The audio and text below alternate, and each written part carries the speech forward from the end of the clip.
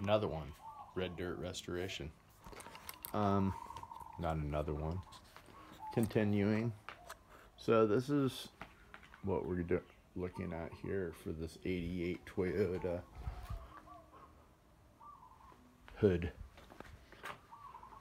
We cleaned the living piss out of it. And so we just had to use the spray prime Um, there was, I don't even know where it is anymore.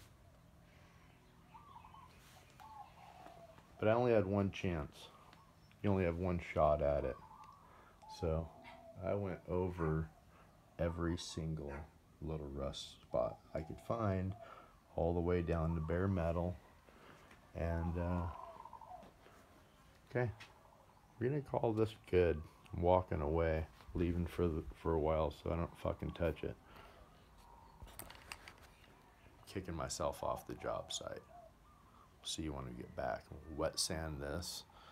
Uh, we'll start out with 1500, see where we are. Probably drop down. I need to get some more wet wet paper, so we'll drop down to probably eight, and then bring it back up.